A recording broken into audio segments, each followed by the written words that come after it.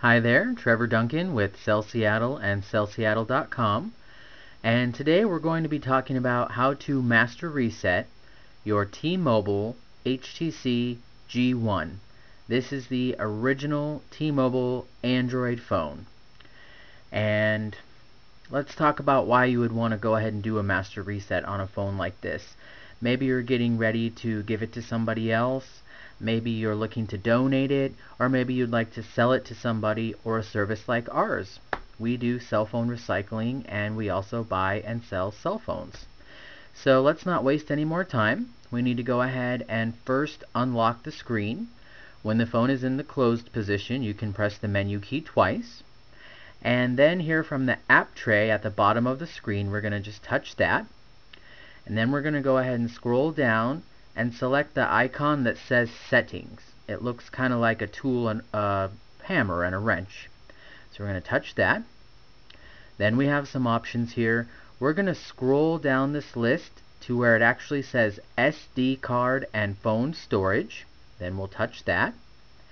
And now we have an option at the bottom of the screen here which says factory data reset.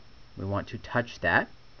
Now here we have a warning that just reminds us that the reset will erase any information from your Google account, any downloads, um, files that you have. So before we do this, you'll want to make sure that you've backed up your email, your contact list, any photos are stored over to your memory card as well as text messages.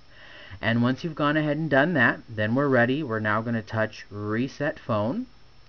And we have one last warning here that just telling us this is going to erase everything. We're going to go ahead and touch erase everything. And now the screen will go blank. The phone is shutting down. It just vibrated. It's now come back up and it here says T-Mobile G1. So while we're waiting for this to completely reset, let's talk a little bit about Cell Seattle and what we do. Basically, um, we're here to make sure that cell phones stay out of landfills. Believe it or not, in the world there's about 500 million cell phones that have been retired that need to be disposed of. And when they're thrown in the garbage they contribute toxic chemicals things like arsenic lead mercury. These leak into the landfills and then into our drinking water. And we don't want to see that happen.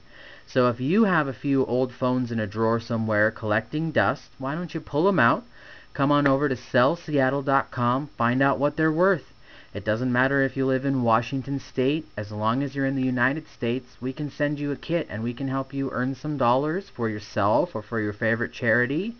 And definitely make sure that cell phones do not get thrown away. So here we are, the phone is almost completely reset. We're back up to the Android screen.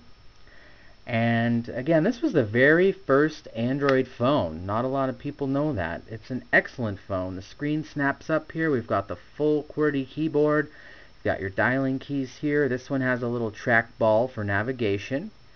And here we are, back at the main Android screen. Now, in order to use the phone, you do need a Google account. If you don't yet have one, you can set one up during the activation process. And we can get past this right now. We're just going to tap the corners of the screen. And actually, let's just touch the little Android guy. We can skip all these steps. Um, and it is now prompting to log into the G Gmail account. So this phone is now completely reset and ready for a new user to go ahead and pop their SIM card in there. And that actually leads me to my last tip. If you are getting rid of a phone, if it is a GSM phone like this one, if you use it with T-Mobile or AT&T, make sure that you remove your SIM card prior to sending it in. Um, that will protect your personal information, your phone numbers, contacts, things like that. But the SIM card just goes right here underneath the battery and it just slides right out. It's this little piece of plastic that you can then put it in your new phone if you've upgraded to save your info. If not, you can just cut it in half and throw it away. So that has been the procedures on how to master reset a T-Mobile Google phone, the original G1, and we've done that via the menus. So thank you very much for tuning in. Please join us later at cellseattle.com and have yourself a great day.